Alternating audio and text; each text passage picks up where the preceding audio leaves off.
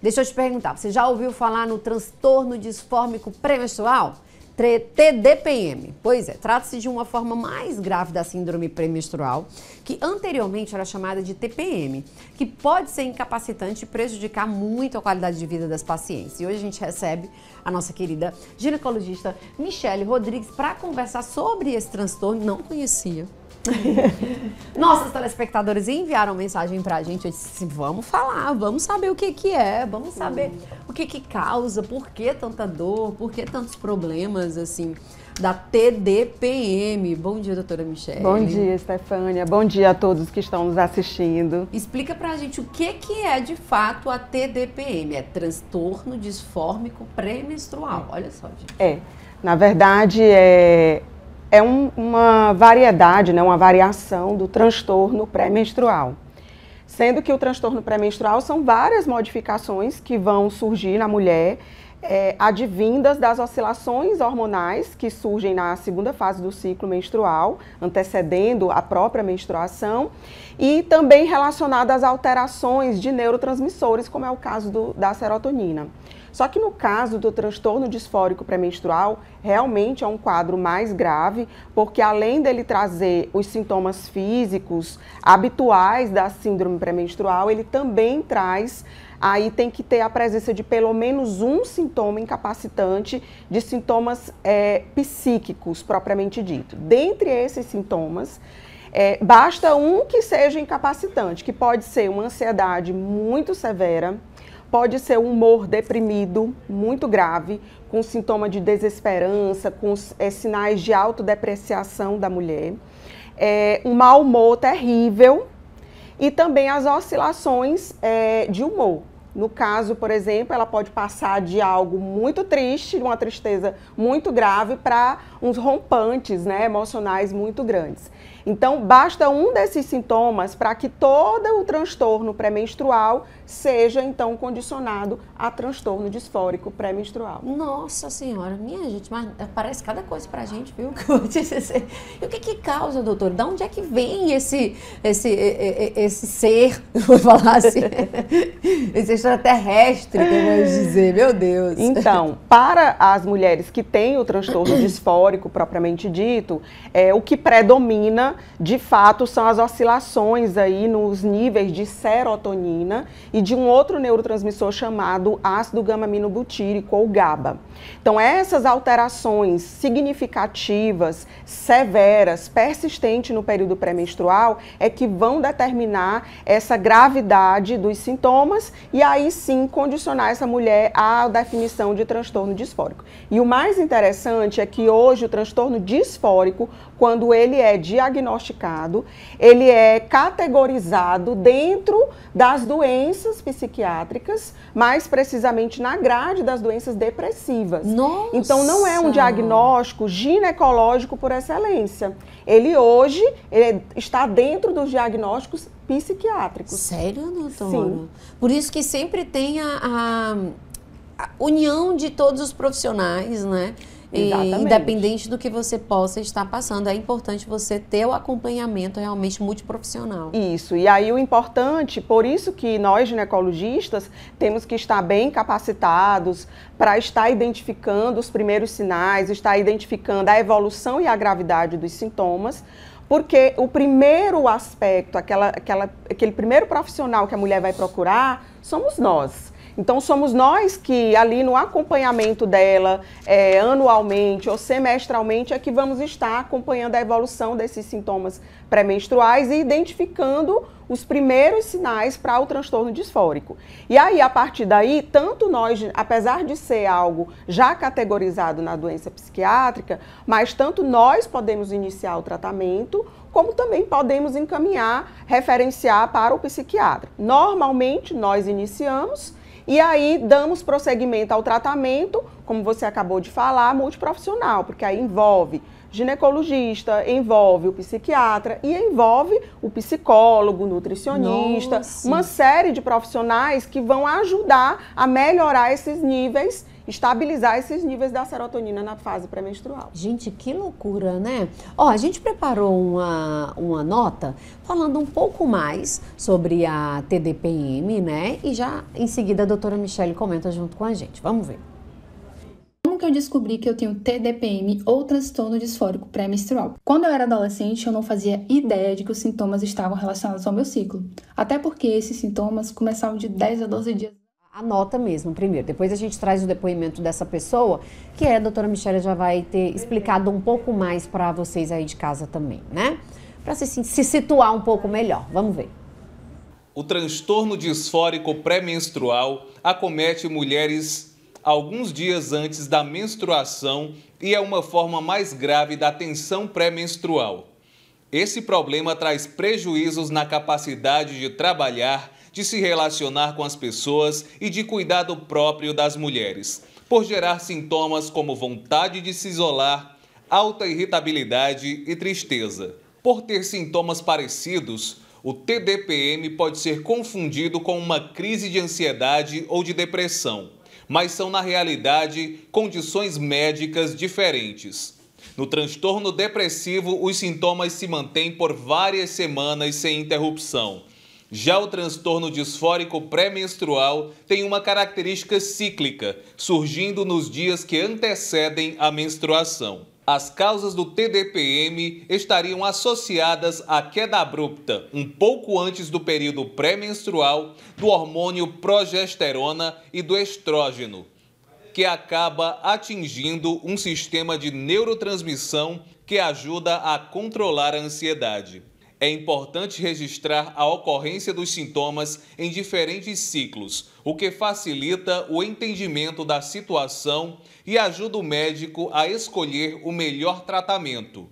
Sabendo do quadro da paciente, o ginecologista ou, dependendo do caso, o psiquiatra pode indicar o melhor tratamento para aquela situação. Nossa, gente, fiquei. Olha só, já que eu estava aqui assistindo aqui a nossa nota. Doutora, o que, que a... eu até perguntei para a doutora Michelle o que, que a mulher sente e como que a gente pode identificar isso, assim, assim, tipo, poxa, eu tenho, eu tenho alguns sintomas, mas também não achar por, por ter alguns sintomas e dizer, ah, pois então eu tenho, né? Tipo, como diferenciar também? É, a primeira diferença é que os sintomas, como acabou de ser descrito, são cíclicos, né? Então são sintomas que não vão persistir dia a dia na vida da mulher. Uhum. É, quando esses sintomas psíquicos, eles envolvem dia a dia meses na vida da mulher, já se leva a uma condição mesmo de depressão ou de transtorno de ansiedade generalizada.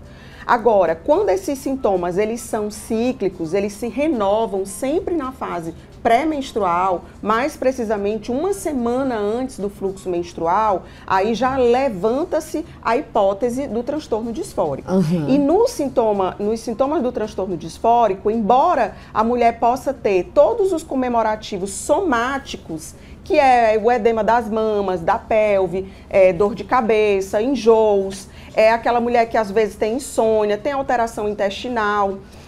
Mesmo ela tendo todos esses sintomas somáticos, ela vai ter que apresentar pelo menos um psíquico, que é, como eu disse, o mau humor, ou o sintoma depressivo mesmo, de humor deprimido, ou uma ansiedade muito severa, que ela descreve como sendo uma impaciência muito grande, uma intolerância muito grande, e as oscilações realmente de humor. Não, eu já estou aqui me diagnosticando também. Pois é, e o mais... Já estou sentindo isso daí, doutora. E o mais interessante é que, como a matéria colocou, muitas mulheres, ela tem inclusive os quatro dos sinais, desses sinais psíquicos, mas ela convive com eles no dia a dia. Então, não é cíclico. E aí é onde precisa ter atenção. A, a atenção, porque aí precisa ser feito o diagnóstico diferencial com os sintomas depressivos, propriamente dito, ou com os transtornos de ansiedade generalizada. E aí mais do que nunca, quando o profissional ele vê a necessidade dessa distinção, porque não há o ciclo, é fundamental a figura do psiquiatra para estar fazendo esse diagnóstico uhum. mais adequado. A gente tem perguntas, deixa eu colocar aqui uma água para a doutora Perfeito. Michele, nossa água mineral Urdamina. Hoje a gente Eita. pediu aqui, ó, já já eu vou falar para vocês, né? Ó, ela tá dizendo aqui que já tá na pré-menopausa, menopausa e tem sintomas muito parecidos.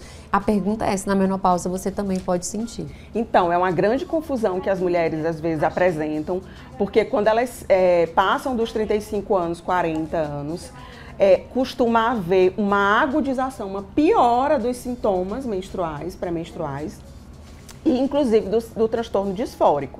E aí, como ela já está se aproximando do período que vai mudar os hormônios, que vai ter as alterações menstruais mesmo, de faltar, e os sintomas menopausais, ela acha que já é os sintomas da menopausa. E na verdade, antes mesmo dos sintomas da menopausa surgirem por conta da redução de estrógeno e progestagênio, ela vai apresentar uma piora do transtorno pré-menstrual.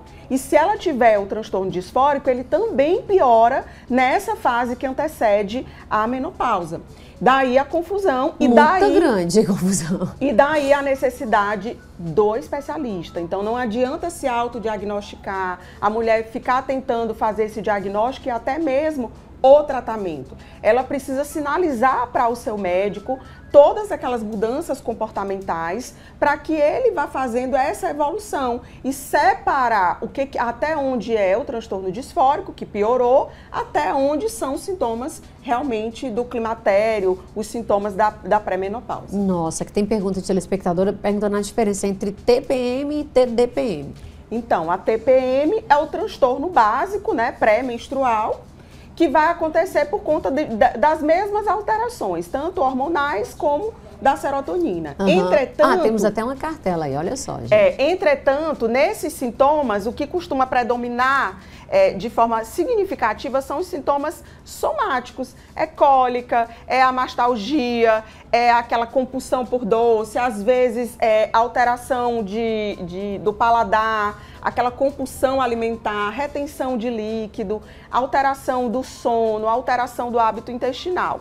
Já nos sintomas do transtorno disfórico, o que costuma predominar e ser assim bem característico e ser o foco de incapacitação muitas vezes dessa mulher para o convívio social, para o convívio familiar e profissional, são sintomas psíquicos, que aí está descrito aí, ó, depressão, irritabilidade, a oscilação é, do humor, o choro fácil, o desânimo, a melancolia e a insônia.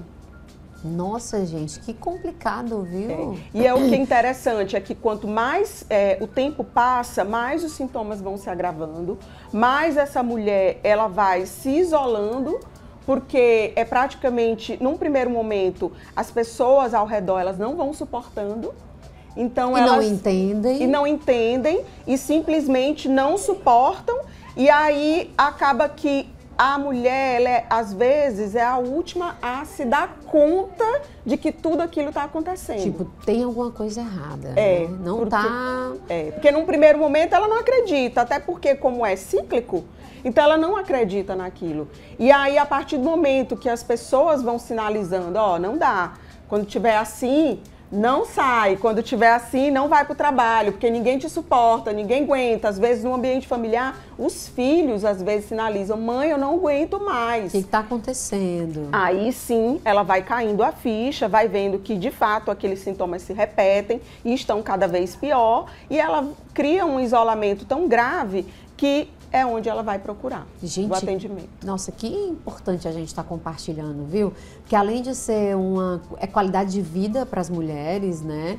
Informação aí para muitas mulheres que desconheciam totalmente esse problema, doutora. É, porque até porque na sociedade tudo que envolve a menstruação é normal. É né? normal. É normal, é, é normal. É frescura. É, é frescura. É frescura, né? É frescura e vocês não sabem o quanto é complicado complicado e doloroso. É, e às vezes há um comparativo entre nós mulheres também, que às vezes há, por desconhecer, aquelas mulheres que não apresentam esse transtorno, elas acabam julgando a outra. Ah, mas eu menstruo e eu não sinto, não sinto nada, nada, disso, é frescura sua. É. Entendeu? Então elas acabam julgando e isolando essas mulheres, quando na verdade faz parte sim de um transtorno que precisa ser diagnosticado e tratado. Pronto, a, a respeito de tratamento tem pergunta, a nossa telespectadora está perguntando se pode fazer é, o controle sem uso de medicação.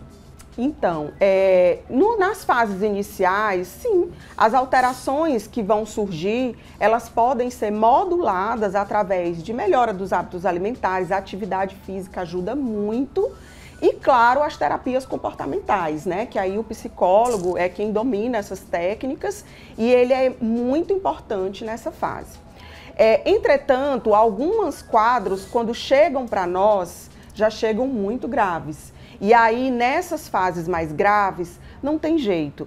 Claro, a, a, atividade física, a alimentação, a terapia comportamental vai continuar tendo um excelente é, benefício, mas a entrada da medicação ela precisa é, surgir para que essa mulher realmente saia daquele quadro agudo. E aí, claro, é, precisa uma duração de tratamento, de acompanhamento, para que depois essa paciente possa ser liberada da medicação. Olha só, gente, é importante você realmente ter o diagnóstico, né, doutora? Ter o diagnóstico, fazer um acompanhamento. E como ter esse diagnóstico aí, mais uma vez, nossa telespectadora aqui perguntando. É. Acho que teve, tem, na verdade, muitas mulheres aqui através dessa pergunta, né? Estão agora fazendo, fazendo uma autoanálise, né? Por todos os sintomas que sentem nesse período menstrual agora. É. Interessante porque a gente está acostumada às doenças as condições clínicas, a gente tem aquele exame que a gente faz. Isso. E a mulher fica esperando. Doutora, Aí diz não tem que um é exame. Isso. Não tem um exame isso, que diz doutora. se eu tenho ou se eu não tenho. Não tem um exame para dizer se é grave ou se não é grave. Não tem. Não existe esse exame de imagem, não existe esse exame laboratorial que vai fazer com que o seu médico diga que você tem ou não tem. O que vai acontecer é que ele vai juntar todos os seus sinais e sintomas, inclusive numa linha de tempo ao longo dos meses, para que ele possa avaliar em conjunto com você, porque você é muito importante também nesse, nesse quadro do diagnóstico e aí, em conjunto, vai se chegar à hipótese. E nessa hipótese, iniciar o tratamento. Como eu disse, se for um quadro leve, o tratamento comportamental, com atividade física, hábitos alimentares, vai ser excelente e de grande valia duradoura. Mas os casos mais graves tem que se introduzir a medicação e acompanhar esse, essa melhora clínica com a medicação. Gente, qualidade de vida, viu? É, amigas, parceiras, companheiras, mulheres. É. Qualidade de vida, né? É, toda, aqui, outra pergunta está perguntando se toda mulher tem TPM, se pode ter TDPM. Então, é, são cerca de 75 a 80% das mulheres, elas apresentam os sintomas é, da TPM, que é a tensão pré-menstrual. Entretanto, para você ter uma ideia, só 5 a 8% das mulheres, pelo que se tem nas evidências atuais, vão desenvolver o transtorno disfórico. Então, é uma fatia pequena dessas mulheres. Daí, por isso que muitas julgam as outras.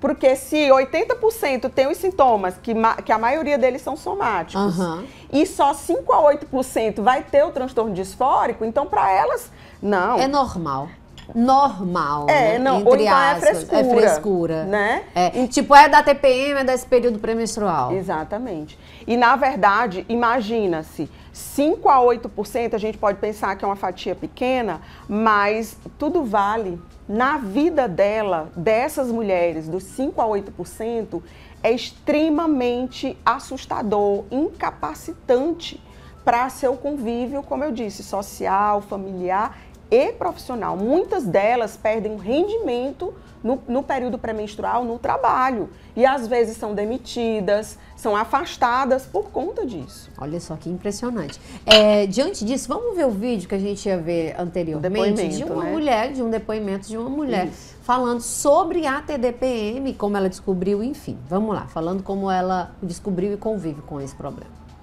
que eu descobri que eu tenho TDPM ou transtorno disfórico pré-menstrual? Quando eu era adolescente, eu não fazia ideia de que os sintomas estavam relacionados ao meu ciclo. Até porque esses sintomas começavam de 10 a 12 dias antes da menstruação, permaneciam um pouquinho após a menstruação descer, e depois que acabava a menstruação, eu só tava tipo assim: meu Deus, o que é que tá acontecendo? O que, que aconteceu? O que, que foi isso? Então eu sempre estive nesse mix de sentimento e confusão. Essa confusão me levou ao seguinte pensamento: eu não vou aceitar eu estar sabotando a minha própria felicidade. Lá vai eu em busca de autoconhecimento, livros de autoajuda, espiritualidade, tananana. Aprendi muita coisa, etc. Porém, chegou um momento que eu pensei assim, velho, e se isso aqui estiver além do meu controle? Porque não é possível que depois de tanta coisa que eu já passei, eu ainda continue impotente diante dessa situação. Foi então que eu comecei a relacionar com o meu ciclo menstrual. Nessa época também já tinha algum conteúdo na internet, né, de mulheres que falavam sobre respeitar o ciclo e tudo mais. Aí eu resolvi ir em uma nova ginecologista. Quando eu cheguei lá, eu já sabia um pouco melhor, né, dos meus sintomas, falei as datas certinhas e ela me diagnosticou: você tem TDPM? Falei: o que é isso? Conversou um pouco e eu saí da consulta. A primeira coisa que eu fiz foi, como eu falei no vídeo anterior, digitei lá, TDPM sintomas, pá, bateu, sai desesperado. E agora, o que é que eu faço da minha vida? Foi isso, velho. Se você quiser uma parte 2, como essa história continuou, sobre as formas de tratamento, deixa aqui nos comentários que eu gravo uma parte 2 desse vídeo. Beijo. Ele aborda as doenças, as outras. Olha, a gente estava comentando aqui, eu e a doutora Michelle, eu perguntei, os médicos abordam esse tema, doutora Michelle? É. E aí, doutora? Infelizmente, é, nós temos realmente hoje as dificuldades técnicas dentro do atendimento, né? Então, às vezes, as consultas, grande volume de pacientes, com consultas com tempo reduzido, fazem, por vezes, os médicos a reduzirem muito essa atenção de acolhida no que a paciente fala, no que a paciente compartilha. E, por vezes, não dá tempo de fazer o que a gente chama de entrevista direcionada que é justamente buscando uhum. sinais e sintomas de determinadas condições clínicas que são comuns à mulher. Então, às vezes, as consultas com tempo reduzido fazem com que tenha aquela, aquela consulta muito sistematizada, automática. Doutor, é. eu estou com isso, aí investiga-se e se trata, né? Então, aquele período da escuta ou aquele período da entrevista direcionada, às vezes, deixa a desejar. Olha só, gente, é o que mais acontece, infelizmente, né? Infelizmente. Bom, gente, hoje a gente está com a doutora Michelle Rodrigues, ela é médica ginecologista, especialista. Estamos falando sobre TDPM. É, se você sentiu que se encaixa dentro de é, algum desses sintomas, tem algum tipo de relacionado a isso nesse período menstrual, já procura um profissional, né? É importante você se sentir melhor. É qualidade de vida, né, doutora Michele? É, hoje a gente tem que estar sempre em busca disso. Sempre em busca disso. É paz, qualidade de vida. Aí tem perguntas aqui, os telespectadores. Quanto tempo dura esse tratamento e se é para sempre, se não é? Então, o tratamento básico, né, que é o comportamental, claro, ele é para sempre porque ele melhora uma é série, você, né? é uma é. série de coisas na vida da mulher, né? É, inclusive prevenção de doenças futuras, né? Como as doenças cardiovasculares. Mas é, quando se inicia o tratamento mesmo com medicamentos que são é, colocados para que são inibidores da recaptação da serotonina, que são muito usados nos transtornos de depressão e ansiedade, esses medicamentos, em média, é, a duração do tratamento é de seis meses a dois anos. Né? E aí, claro, vai depender muito de como essa paciente vai evoluir no decorrer do tratamento. Ele pode ser maior ou até no decorrer da, do acompanhamento, pode até ser que se descubra que essa mulher tem um transtorno que a gente chama superposto. Ou seja, ela tem um transtorno de depressão, mas ela piora no período pré-menstrual. Nossa, então já é um outro diagnóstico. Um outro diagnóstico. E aí, claro, se ela tem o transtorno de depressão, o tratamento vai perdurar, né? Por longos períodos, é, a depender das outras circunstâncias e do tipo de depressão dela. Agora, vale salientar que nesse tratamento a gente fala muito, porque o padrão ouro do tratamento, de fato, é controlando os níveis da serotonina através desses medicamentos. Mas o que foi que já foi colocado? É que essas alterações, elas surgem de alterações hormonais, que é da ovulação. Então, os anticoncepcionais, podem ser usados para otimizar os resultados. Olha Porque só. Porque quando eles inibem a ovulação, eles inibem essa oscilação hormonal. Dos hormônios. E quando a mulher, inclusive, usa de forma continuada, em que além de inibir a ovulação, ela também inibe o próprio ciclo menstrual, ela também pode ter esse resultado otimizado com a ajuda dos inibidores de recaptação de serotonina pergunta, enfim, pergunta. Ela está dizendo que está na menopausa, se ela pode tomar anticoncepcional para melhorar algum sintoma. Então, se já está na menopausa, o manejo tem que ser direcionado para a menopausa.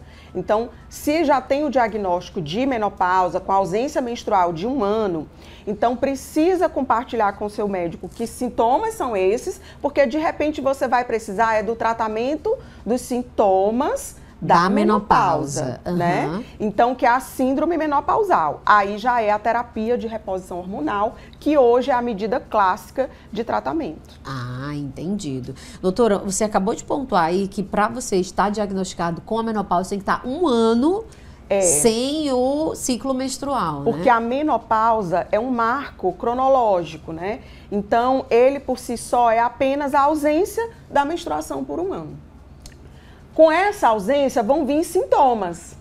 Esses sintomas são ditos né, de síndrome menopausal. A esse conjunto de sinais e sintomas que acompanham a ausência da menstruação por um ano ou mais é que vai ser realmente essa síndrome. E é a partir desses sinais e sintomas que vai ser condicionado o tratamento da terapia hormonal. Tá aí, gente, doutora Michelle, muito importante a gente estar tá falando. Muito demais. Né? Nossa, olha, eu espero que a gente possa realmente ter ajudado vocês, mulheres, nesse começo de semana, né? E eh, muitas mulheres já começam a semana exaustas, né?